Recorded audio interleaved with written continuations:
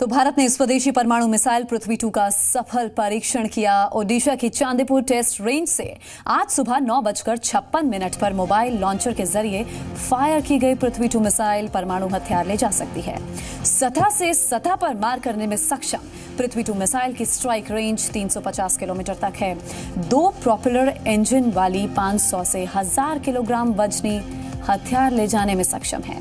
पृथ्वी to अपने लक्ष्य को सटीक तरीके से निशाना बनाने के लिए अत्याधुनिक प्रणाली का इस्तेमाल करती है। और इसके साथ ही आपको ये भी बता दें कि इस 9 मीटर लंबी मिसाइल को साल 2003 में भारतीय सशस्त्र बल में शामिल किया गया था।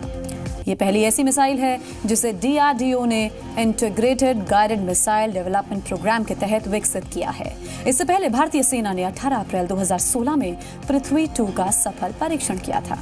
इस वक्त दो परीक्षण किए जाने थे, जिनमें से एक कामयाब रहा था, लेकिन अन्य किसी तकनीकी खामी के चलते नहीं किया गया था। जिसके बाद सेना ने 21 नवंबर 2016 में भी पृथ्वी मिसाइल का दोहरा सफल परीक्षण किया था। और एक बड़ी कामयाबी भारत के लिए।